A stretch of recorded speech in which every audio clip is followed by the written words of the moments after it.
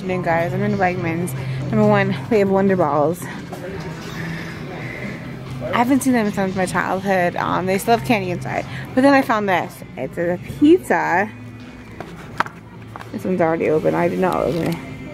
And there's like a little gummy pizza inside. Um, yeah, that's actually quite neat, but I definitely would not get that. Um, there's also some other things like Wonder Balls that has a surprise in it. That's not candy. Um, but I don't know. I'm just kind of like looking around. I hope you guys having a great day.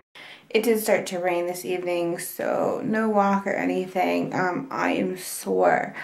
I don't know if it's from my working out, um, and then yesterday's um, little walk and just walking around. Um, but also this morning I mowed Mia's area and it was super, super thick. So I really am starting to question just the way I was moving. Moving? What?